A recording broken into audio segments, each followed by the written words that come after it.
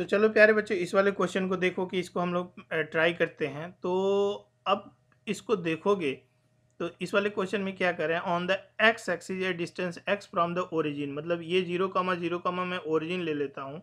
ये मेरा वाई है ए एक्स है। तो ये पॉइंट पी है, जिसका कोऑर्डिनेट है एक्स कॉमा ज़ीरो तो इस पॉइंट पी पर X axis X X X distance from the origin field जो है वो दिया हुआ। तो फ़ील्ड की वैल्यू कितनी है भाई? फ़ील्ड की वैल्यू है ए एक्स और divided by X square plus A square की पावर थ्री बाई टू। तो ये भाई फ़ील्ड है on X axis magnitude of gravitational potential on X axis इसी पॉइंट पर हमें फ़ील्ड की वैल्यू गिवन है। तो पोटेंशियल कितनी होगी? इसकी कैलकुलेशन करनी है और ज़ीरो लेना है इनफाइनाइट पे पोटेंशियल ठीक है ना? इन्फिनिटी पे हमें पोटेंशियल ज़ीरो लाना है किसी मास को। इस पॉइंट पे लाएँगे, ठीक है ना? तो इन्फिनिटी पे पोटेंशियल ज़ीरो और इस पॉइंट के बीच पोटेंशियल हमें निकालना। हम सबको पता है, अगर फ़ील्ड दिया होता है तो पोटेंशियल कैसे निकालते हैं?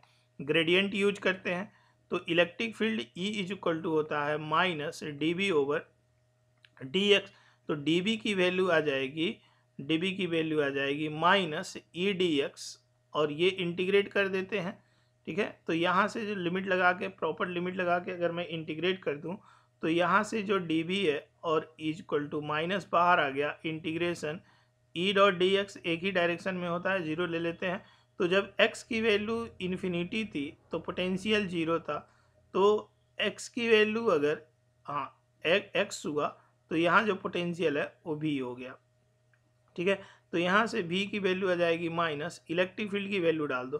तो इलेक्ट्रिक फ़ील्ड की वैल्यू डाल दोगे तो A X over A X square plus A का स्क्वायर की पावर थ्री बाई टू और डी एक्स, और ए आ जाएगा इन्फिनिटी टू एक्स इसको इंटीग्रेट कर देंगे। तो फाइनली अगर मैं इसको इंटीग्रेट कर दूँगा तो मेरा प्रॉब्लम सॉल्व हो जाएगा।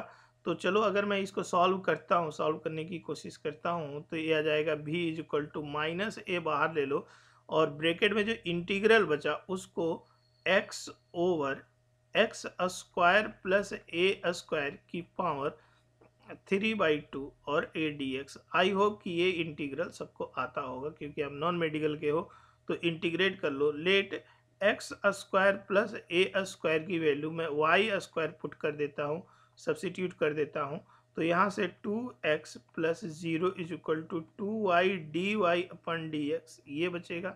मतलब यहाँ से जो वैल्यू आएगी यहाँ से जब हम इसको देखेंगे तो टू एक्स डी एक्स की जो वैल्यू आ जाएगी, वो टू वाई डी वाई के इक्वल आ जाएगी।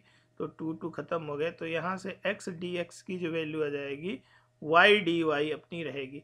तो एक्स डी एक्स अब जो पोटेंशियल बनेगा तो माइनस ए, और ये इंटीग्रल ऐसे, X D X Y D Y हो गया, और नीचे में वाई का स्क्वायर रखोगे तो स्क्वायर स्क्वायर खत्म हो गया वाई की पावर क्यू हो गया तो minus A integral one upon Y square D Y अब जब one upon Y square D Y को इंटीग्रेट करोगे तो माइनस तो ए तो रहेगा ही रहेगा, और ये इंटीग्रेट होके बनेगा माइनस वन अपन वाई तो वाई की जब वैल्यू रखोगे माइनस माइनस ए प्लस हो गया तो ए और वाई की जो वैल्यू रखोगे तो वन अपान वाई की वैल्यू रखो यहाँ से तो वाई की वैल्यू रखोगे तो ये बनेगा X square plus A square under root यहाँ से।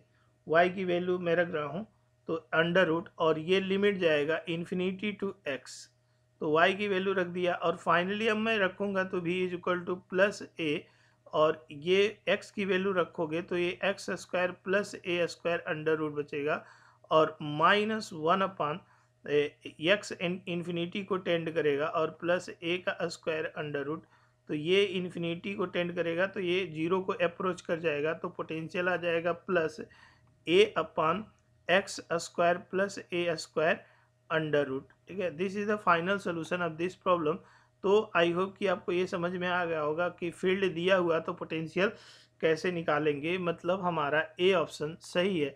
तो this is the A option is the correct तो नहीं नहीं, यहाँ पे हाँ देखते हैं कौन सा ऑप्शन मैच करता है। ए इज़ इक्वल टू गलत टिक कर दिया क्या मैं A is equal to X square plus A हाँ A is equal to X square square C option मैंने, मुझे टिक करना चाहिए था।